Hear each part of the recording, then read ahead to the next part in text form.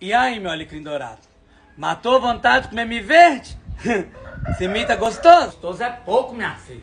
Esse milho tá uma delícia. Ah, mas deve tá mesmo? Esse milho tá cheiroso. Tô ouvindo o cheiro daqui. Quando acabar de estender minha roupa no varal, vou comer uma espiga também. Tem um monte ali na panela.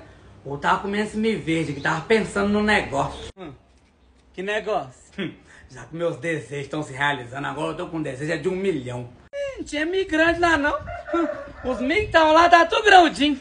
Hum, Da próxima vez que eu for lá, eu vou ver se eu acho uns milho maior e trago pra você pra realizar seu desejo do milhão. Infelizmente, o milhão que eu quero não tá à venda, não, minha filha. Uai, entendi, foi é nada.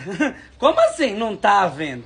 Que milhão é esse que você tá querendo? O milhão que eu quero é um milhão de seguidores lá no Instagram. É tão difícil assim ganhar um milhão de seguidores lá?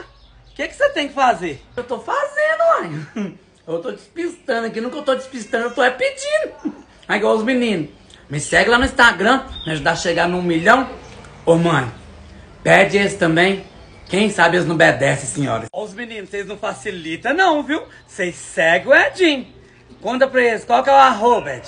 O arroba é Edson Teodoro 1. Fala com eles, mãe. É Edson Teodoro 1. S Teodoro 1. Segue, fala, mãe. Segue ele.